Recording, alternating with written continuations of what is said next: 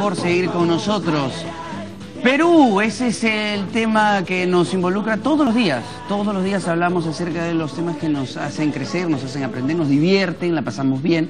Pero también queremos saber qué es lo que queremos justamente para nosotros, para el futuro, para, para después e incluso para hoy mismo, porque a veces decimos, ya, pero que el futuro vea, de que, que se encargue el futuro, los niños para el futuro, pero no, es ahorita donde tenemos que empezar a actuar, el futuro todavía no llega.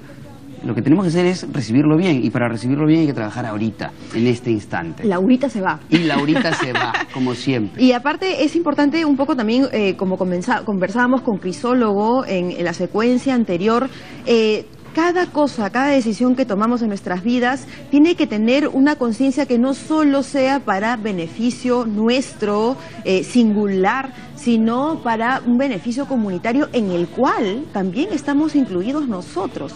Es un pensamiento que poco a poco tenemos que ir cambiando y para eso hoy día vamos a entender los porqués. ¿Por qué es importante tener una conciencia medioambiental? ¿Por qué es importante saber segregar la basura? ¿Por qué es importante reducir el consumo de, bebidas, por ejemplo, en botellas de plástico, entre otras cosas? Mm. Sí, lo hemos escuchado. Ahora vamos a entender el por qué. Y qué mejor, qué mejor para explicarnos todos estos temas que eh, el señor Manuel Pulgar Vidal, que es ministro del Ambiente, que nos visita el día de hoy. ¿Cómo estás, Manuel? Bienvenido. Buenos días. Cecilia y crisólogo, ¿dijiste crisólogo? No. no. Yo soy crisólogo, el hijo. No, no, él es Oscar, más conocido no, sí, como sé que es Oscar, pero, y crisólogo.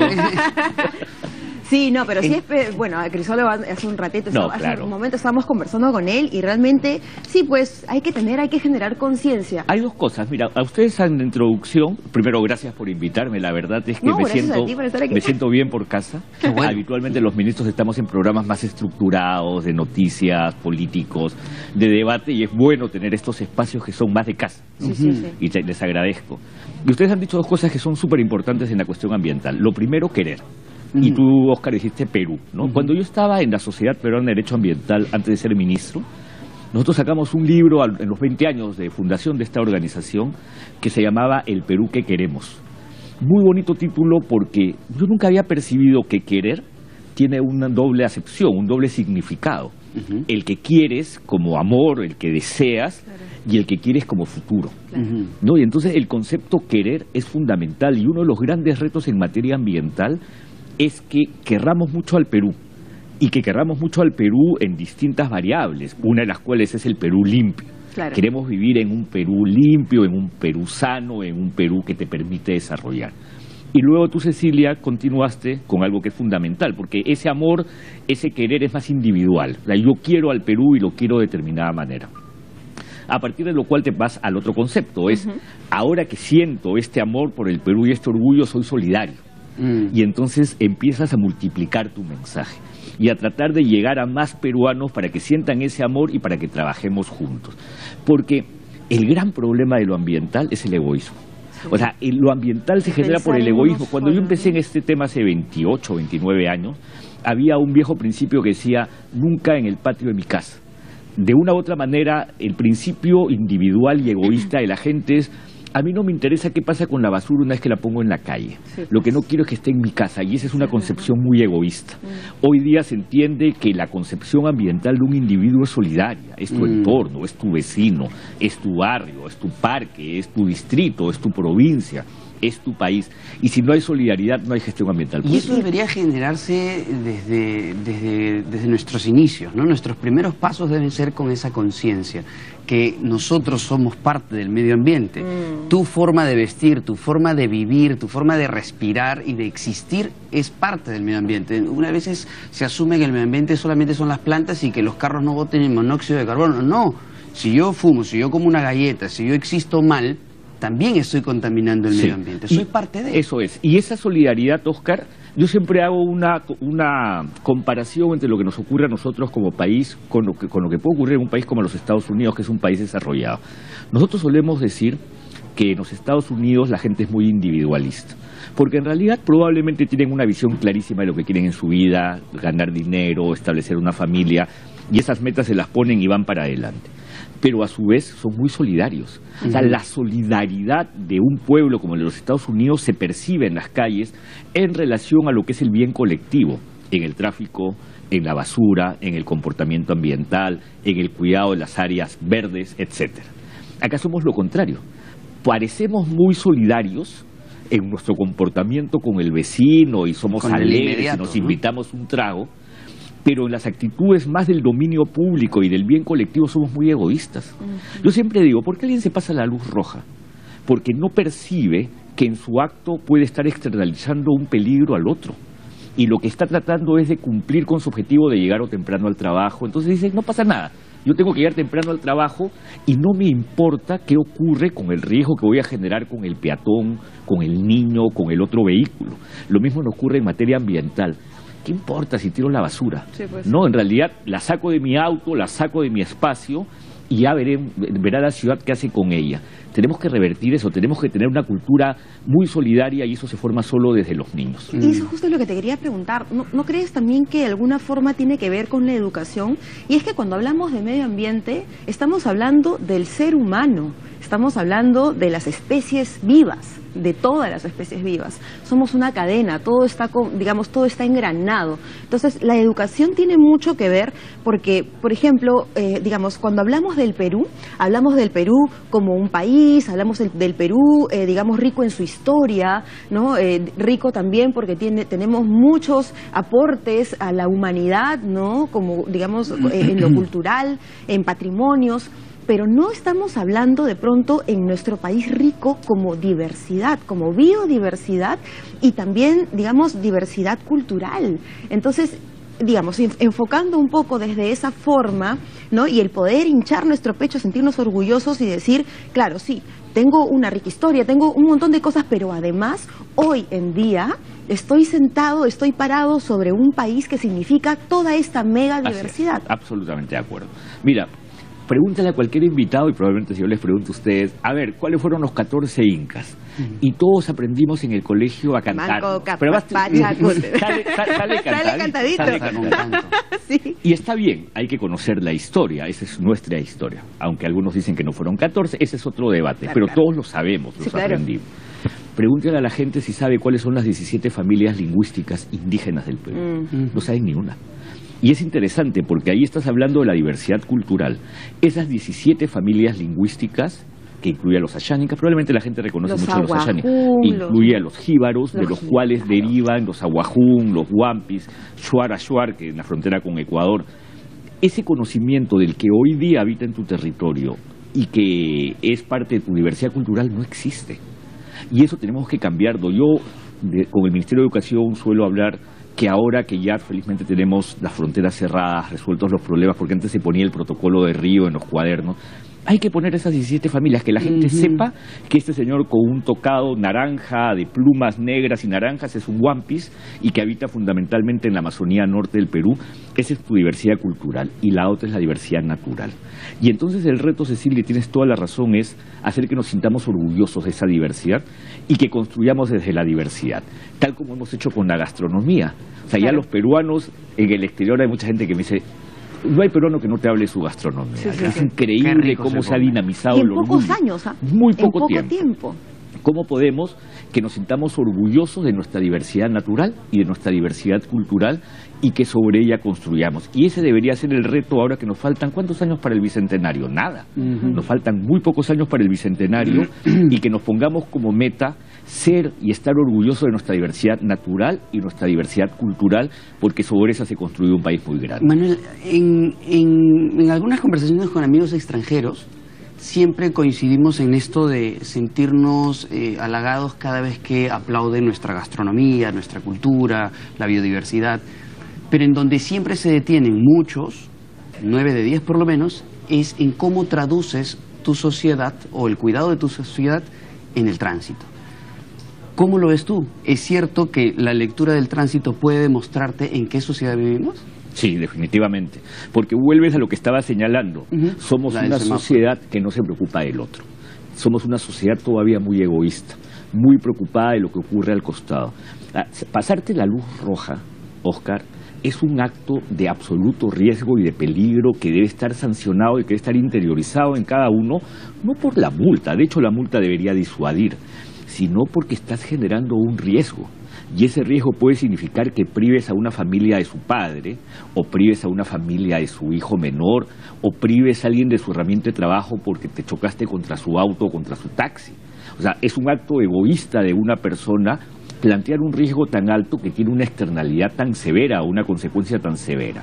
Arrojar la basura, no cuidar los parques, hacer un poco lo que quiero sin cumplir la ley, son actos de egoísmo individuales que tenemos que combatir.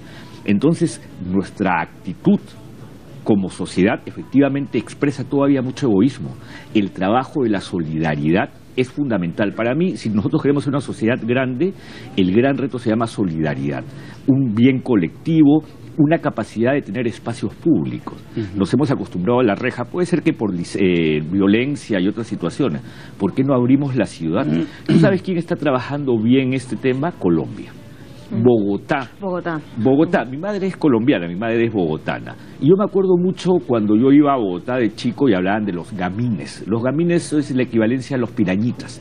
Y la ciudad estaba tomada por los gamines, ¿no? En el sentido de que había esta violencia de niños que se drogaban con el terocal, que allá tiene otro nombre, y que te asaltaban y te robaban en grupos.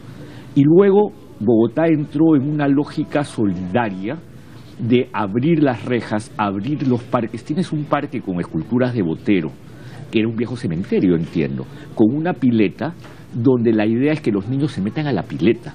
No para que lo utilicen como piscina, que sino que si quieren recrearse, se integren en el espacio público sin ninguna limitación. La Candelaria se recuperó, el centro de Bogotá se recuperó y la gente empezó a querer más su ciudad. Y tienes artistas como Botero, que dijo con todo lo que él podría haber ganado de dinero vendiendo sus obras, dijo, no señores, mm. yo quiero donarle a la ciudad un museo con todas mis piezas, que no solamente incluyen mis piezas eh, de, mi autoría, sino incluye mi colección. Wow. Hay Van Gogh, hay Picasso, y una condición a la ciudad, no puedes cobrar.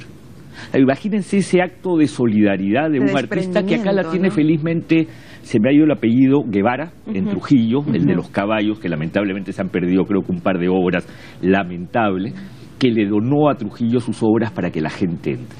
Esos son los actos que programas como el de ustedes, que nos hacen sentir bien por casa, tienen que destacar. Y ese es el fundamento de lo ambiental, la solidaridad, el hacer que tú quieras hacer algo por el otro. Tú creo, Cecilia, que corres solas y cuando corres solas levantas un poco de plástico, ¿no? Pues sí.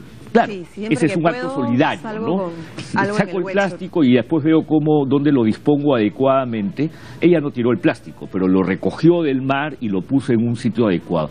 Ese acto solidario es el que debemos promover muy fuertemente con los chicos. Ahora, sí, también un poco eh, anexado a lo que estamos conversando, eh, digamos, si bien es cierto... Eh, vivimos nuestra sociedad en particular, eh, digamos, somos un tanto individualistas y no, eh, digamos, enfocado en el sentido de que yo me independizo de mis padres, no, sino individualistas tirado más bien al egoísmo, ¿no? Al, no me importa mucho qué es lo que pasa con otras personas.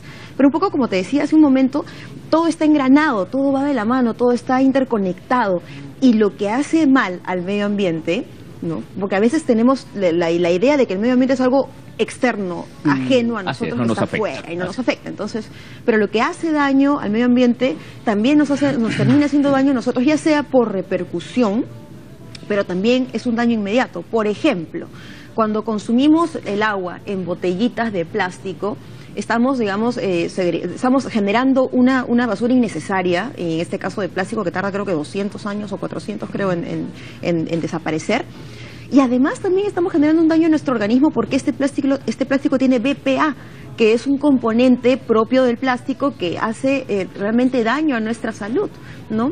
Eso, por ejemplo, por, poner un ejemplo, ¿no? Entonces, hay una conciencia que, digamos, podría ir hacia, ese punto, hacia ese lado egocentrista, hacia ese lado egoísta, hacia ese lado que, que, digamos, que puede decir, sí, ok, de repente tú no lo quieres ver como algo comunitario, ¿no? Pero a ti te está haciendo daño, a tus bebés, a tus niños les está haciendo daño. Y, esto es muy reciente, Cecilia, porque yo recuerdo, yo acompañaba mucho a mi mamá al mercado cuando yo era niño.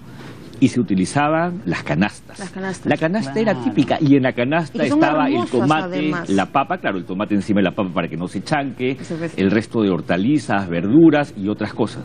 Y el uso del plástico era menor. No es que cada producto tenía que tener una bolsa de plástico. Todo iba a la canasta y luego uno llegaba a la casa, en la casa se lavaba y se guardaba. Ahora nos acostumbramos a la cultura del plástico y todos la tenemos, me incluye. Yo he tratado en algunos momentos de llevar canasta porque yo muchas veces hago compra, después uno se olvida. sobre todo tú que tienes que... Sí, claro. Me imagino que todos los ojos están contigo. Es cierto, pero, pero uno tiene que ser sincero, a veces no lo haces. no lo haces por comodidad, porque te olvidaste de la canasta, porque es más fácil que te esté todo en plástico y, lo guardes en la maletera de tu auto, te lo lleves caminando. Entonces termina siendo un cambio de cultura que sí lo podemos lograr porque empezamos con esa cultura del plástico hace muy poco tiempo. Y también, por otro lado, por ejemplo, el Ministerio del Ambiente está intentando promover, no es fácil, porque no solamente es cambiar un patrón cultural, sino un patrón económico, el no uso de bolsas de plástico. Ya en ningún país europeo te dan una bolsa de plástico, te cuesta. ¿Con qué lo, lo tú, O compras estas bolsas, bolsas recicladas, que además los propios supermercados, acá también, yo he visto en dos o tres supermercados te cuestan dos soles. Son bolsas hechas con plástico muy resistentes y la idea es que tú la compres y la siguiente vez en el supermercado pongas tus productos. Eh, tenemos que eliminar la cultura del plástico, que incluye también eliminar la cultura de consumir tanta agua embotellada, que lo único que genera es generación de más plástico que termina arrojado en cualquier punto. No obstante eso, también, si finalmente es inevitable, necesitamos este plástico por X, Y o Z razones, a nosotros, y te voy a poner para ser muy sincero, en la COP20, en diciembre nos criticaron que utilizásemos agua embotellada en mm. botellas. Tenían razón, como en una conferencia climática, pero ¿cuál fue la razón? Y, es bueno explicarla. Nosotros estuvimos en una situación en donde eventualmente podía cancelarse la COP por el ébola. Acuérdate que veníamos con esta amenaza del ébola y se empezaron a generar muchos temores sobre si debíamos recibir tanta gente del exterior y si esto no iba a ser una situación que agravase el riesgo de que hubiese un contagiado con ébola, con todo lo que ello significaba para un país que todavía no tiene las condiciones para este tratamiento. Entonces dijimos, vamos a darle a la gente la seguridad a través de estos agua embotellada para que no esté asumiendo ningún riesgo innecesario, pero eso sí, todas estas botellas deben luego destinarse a reciclaje y los ingresos por reciclaje que vayan a NIQUEM, que es la manera como se dispuso. Entonces, a veces hay, es inevitable tener que consumirlo, se hizo por una razón de que la conferencia tuviera toda la tranquilidad de todos los visitantes en relación a un riesgo para la salud.